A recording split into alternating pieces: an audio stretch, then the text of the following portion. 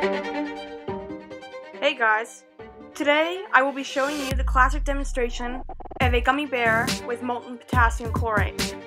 Now for this demo, I'm filling a test tube that is clamped to a ring stand with potassium chlorate. Just remember to point the test tube away from yourself and anyone around you to prevent injury. The next step is to heat the potassium chlorate with a torch until it becomes molten. Most demonstrators drop in the gummy bear once the salt is molten, but I did it a bit differently. My gummy bear kept getting stuck to the walls of the test tube because of how humid it was outside, so I wound up just putting it in the test tube while heating the contents. Unlike most demos, the flame in this reaction is not purple, because I did not use enough potassium chlorate and not enough of it was melted. I still think the footage was good though. There are two reactions occurring during this demo.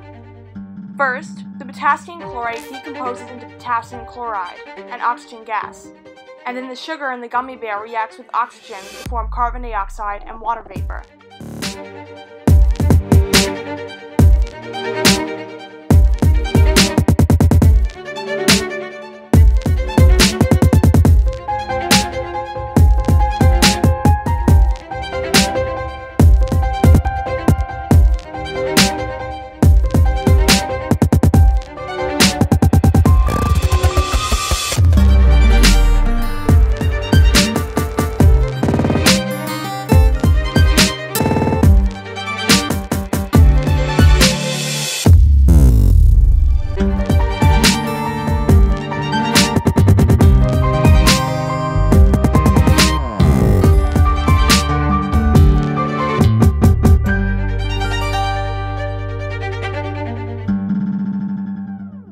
Guys so much for watching.